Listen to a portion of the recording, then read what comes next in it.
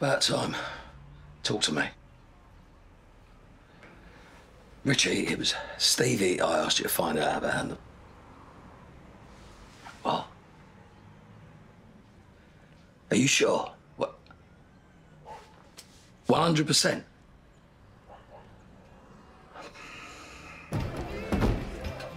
Phil! Made it! Right, oh, that spring. Um, hold up, everybody. Um, just want to say a few words.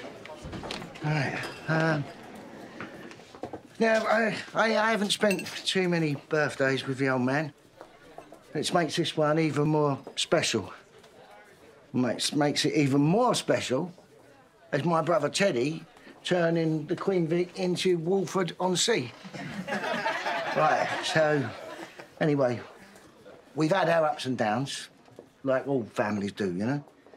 Mum going her own way and me not seeing Dad for quite a few years. but it ain't the downs that matter, is it? It's the ups, isn't it? And, and, and now Dad's back in the fold. Well, this family is well and truly on the up, right?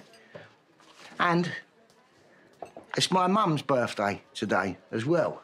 Yeah. yeah. So wherever she is right now, I hope she's having a good a time as we all are.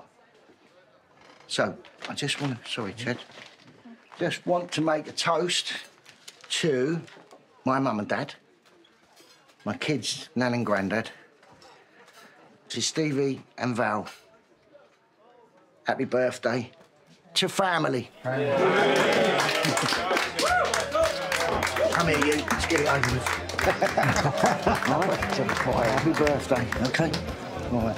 Listen, I'm sorry, Will, Will, get your mum on that FaceTime thing. Show her what a good time we're having, can't we?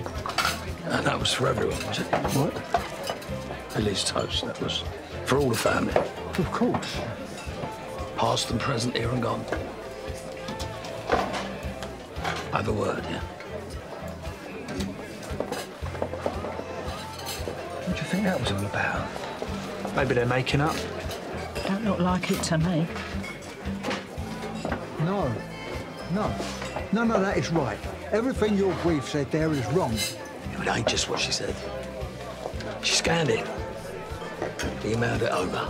There it is, in black and white. Now, you gonna tell him, or shall I?